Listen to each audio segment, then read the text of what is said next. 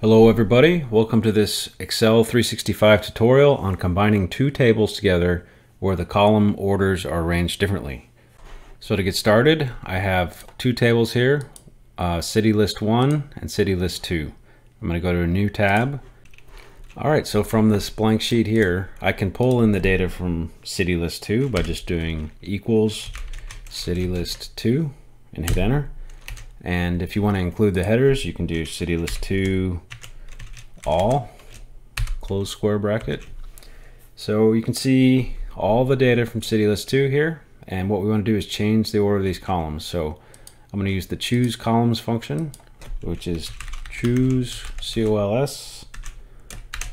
And the way this works is you put in the order of the columns that you want. So I would just put three, two, four, five, one, for example, and that changes the order of the columns.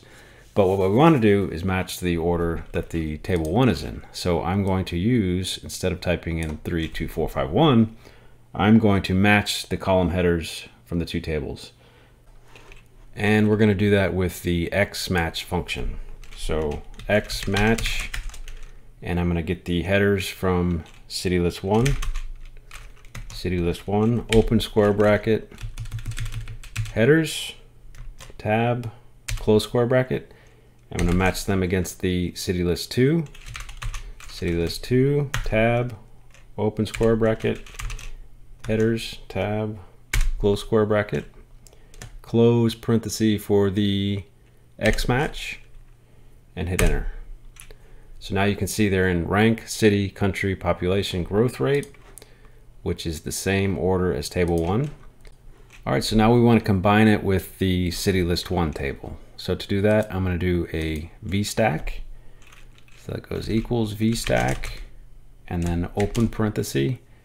And I'm going to do city list one open square bracket all to include the headers as well, comma, and then I'm going to take the headers out of this city list two because I don't want to repeat the headers. So I just delete that all and then hit enter. I just need a closing parenthesis for my uh, VStack there. It added it for me. All right, so now you can see the two tables are combined in the same order and there are a couple of duplicates. So what we can do here to make sure that we don't duplicate values is wrap this in one more function, which is unique. And we're going to use this whole result that we've calculated already in the unique function. And that means if all of the columns match it, between two values, uh, two rows, it won't include them more than one time. So I'm going to hit enter and you can see now there aren't duplicates. It removed the duplicate Tokyo and a couple other ones. I hope that helps. Let me know if you have any questions in the comments section and have a good day.